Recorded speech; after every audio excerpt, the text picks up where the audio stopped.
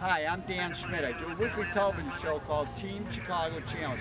Our website is teamchicago.tv, teamchicago.tv. In the next 10 or 12 minutes, I'm going to try to show you some of the highlights from the air show. That's right, the AirVenture, the EAA AirVenture in Oshkosh, Wisconsin. Every July, this may be the largest camping event in the United States, the largest air show in the entire world. It is so great being here and I feel honored be able to talk to some of these people, look at some of these great aircraft. And remember my website, teamchicago.tv. As you exit US 41 Oshkosh, Wisconsin, a F-86 Sabre, one of the warbirds from the Korean War, is there to greet you. This is the EAA, Experimental Aircraft Association annual fly-in, the EAA AirVenture. Over 550,000 people attended the EAA AirVenture in 2015 as we look at the camping area. This may be the largest camping event in the United States. People camping underneath their airplane wings, people driving up and camping in tents and campers on the huge campgrounds and on the airport. As we look at Paul Poberezny's P-64 Warbird, an airplane that he saved and restored, and it was under his leadership that the EAA was formed right after the Korean War in the 1950s to establish that everybody, all Americans, have the right to fly aircraft, have the right to own aircraft, and have the right to build their own aircraft. If you look at the seminar buildings, the seminar plaza for the EAA, remember, knowledge is everything when it comes to aviation. The more you know, the greater the sport is. Every American has the right to own, to fly, and to build their own aircraft. As we see these warbirds from World War II, 2015 is the 70th anniversary of the end of World War II. First the war ended in Europe, in 1945, and then it ended in the Pacific in August of 1945. As we see these warbirds flying overhead, trainers, P-51s are warming up. They are taxiing and they will be taken off to join the trainers flying above Remember, during World War II, over 100,000 aircraft were built. Over 300,000 pilots were trained to fly these aircraft between December 7th of 1941 and August of 1945. America mobilized. As we see these trainers come by, these aircraft were just as critically important to the victory during World War II as all the fighter planes and all the bombers, all the P-38s, P-51s, P-40s, Corsairs, torpedo bombers, B-25s, B-26, B-17s, B-29s, all the various bombers, all the various fighter aircraft that were used to defeat the Germans, the Italians, and the Japanese and their allies. As the planes come by one more time, listen to that sound. That is the sound of victory.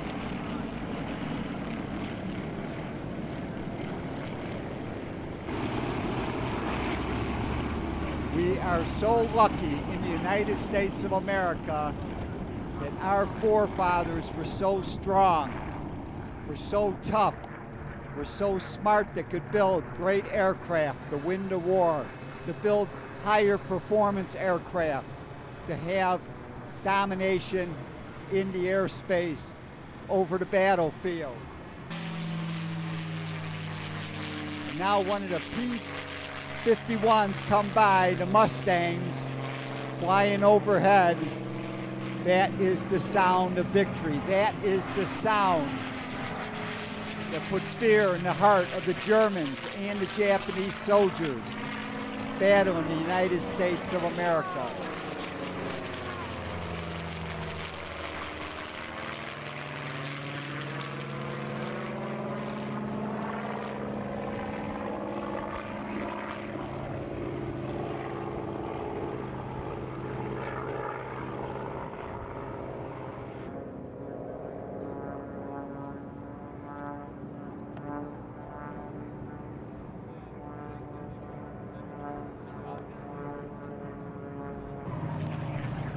As we hear the sound of the P-51s overhead, remember, it is the can-do attitude. It is the cowboy attitude that led to victory in World War II.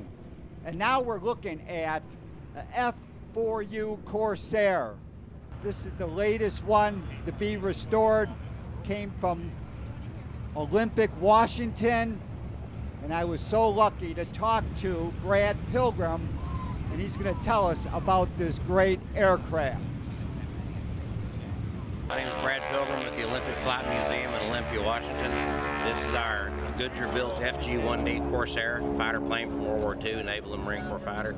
This is the first time we've had it at Oshkosh. Uh, we've been flying it for a year after an 11 and a half year restoration. It's got a 2,000 horsepower Pratt & Whitney R2800 engine on it with a 13 and a half foot propeller. Uh, it's capable of doing over 400 miles an hour in level flight. We don't do that. Uh, burns about 76 gallons of gas an hour at economical cruising speed, which is about 240 miles an hour. And uh, there's about 35 of these left in the world and about 15 or so that still fly. And as of right now, this is the prettiest one in the world. Um, every time another one gets rebuilt, prettier. So for the time being, though, this one's the most perfect one in existence. So uh, we keep it in Olympia, Washington at the museum, and our website is olympicflightmuseum.com. And uh, we have this, we have a Mustang and an L-39 jet and a replica Zero and several helicopters and some other stuff. So if you're ever out towards Seattle, 60 miles south, you'll find this airplane in a hangar. Thank you, Brad Pilgrim. As we look at the three 50 caliber machine guns built into the wing on the right side, and we're also looking at the nine yards of 50 caliber bullets. That's where the term came from. Give them the whole nine yard. As you can see, with the fold-up wings, this was a naval aircraft designed to be held on aircraft carriers and you can see the very distinctive profile of the Corsair. And now we're looking at, I believe this is Kirby Chambliss, and he's in the Red Bull acrobatic aircraft. Let's check it out.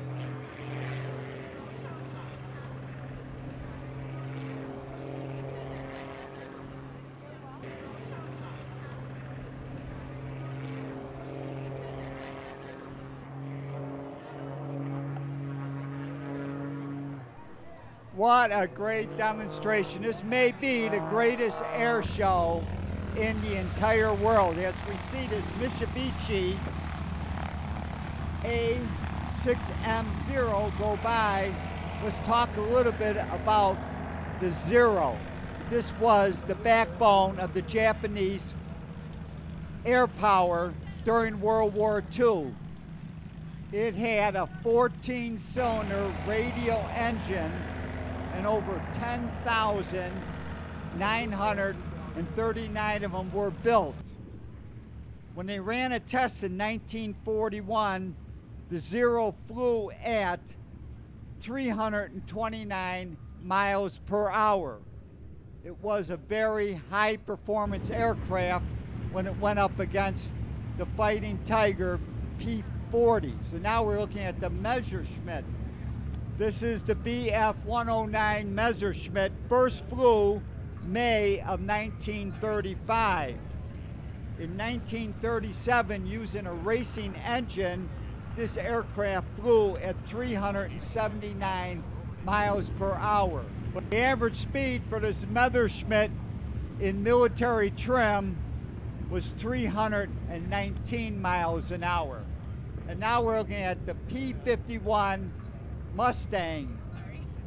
We are looking at two different models. The B model has got the less enclosed cockpit, and we're looking at the D model, which has the open glass cockpit. This B model with the distinctive red tail represents the aircraft flown by the Tuskegee Airmen as they accompanied bombers over Europe. They were capable of making it all the way to Germany and back with their drop tanks. The Mustang could fly at 437 miles per hour. The Corsair was a naval aircraft.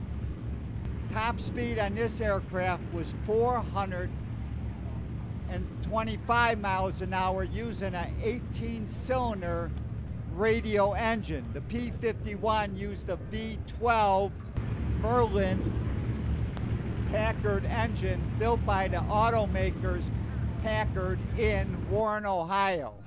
And now we're looking at the P 38 Lightning twin engines using the Allison V12 engine. This heavy fighter built by Lockheed first flew in January of 1939. The top speed on this aircraft was 443 miles per hour. High performance aircraft is what dominated the airspace over Europe and in the Pacific. And that is one reason the Americans won World War II. We are now looking at the F-22. The United States Air Force considers the F-22 as a critical component in its tactical air power.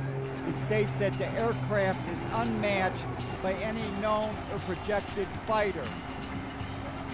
This is a supersonic twin engine, single seat tactical aircraft.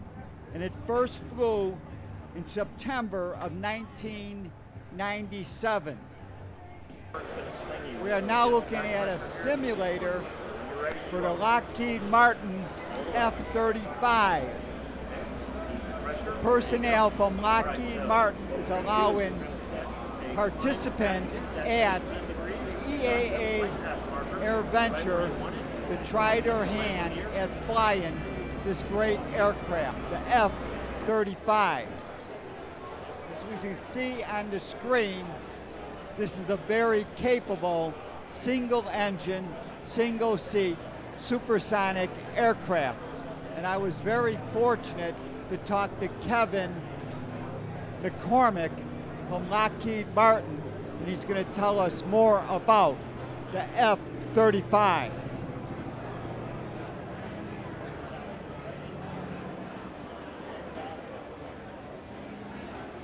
Good morning. My name is Kevin McCormick. I'm with Lockheed Martin Aeronautics Company. We're here at the EAA and we've got the F-35 cockpit demonstrator on display here. The F-35 is the multi-role stealth aircraft. They'll be operational here for the U.S. Air Force, the United States Marine Corps, as well as the United States Navy. It is operational also with three of our foreign military sales customers at this time. So you'll see a lot of activity here coming through with people talking about how they fly the aircraft. We have three different variants. The F-35A is for the U.S. Air Force and eight of our international partners, as well as three of our foreign military sales customers. The F-35B is for the U.S. Marine Corps and the Royal Navy. And we also have the F-35C, which is operated by the United States Marine Corps, as well as the United States Navy be able to identify the three different variants as we come into the cockpit simulator by configuring it to whatever configuration you want to fly. So if you want to fly the A, which is the Air Force variant, we can do that. The B for the U.S. Marine Corps or the C for the U.S. Navy. Thank you, Kevin McCormick. I should point out that the F-35 first flew in December of 2006 as we see on the simulator landing this aircraft on an aircraft carrier. What a wonderful simulator. And I should point out that the United Kingdom, Italy, Australia, Canada, Norway, Denmark, the Netherlands, and Turkey all contributed to the development of the F 35. Maybe the most capable tactical aircraft ever built to this point. And the entertainment on Boeing Plaza on Tuesday, July 21st, is the Little River Band. Their website is littleriverband.com. This group is out of Australia.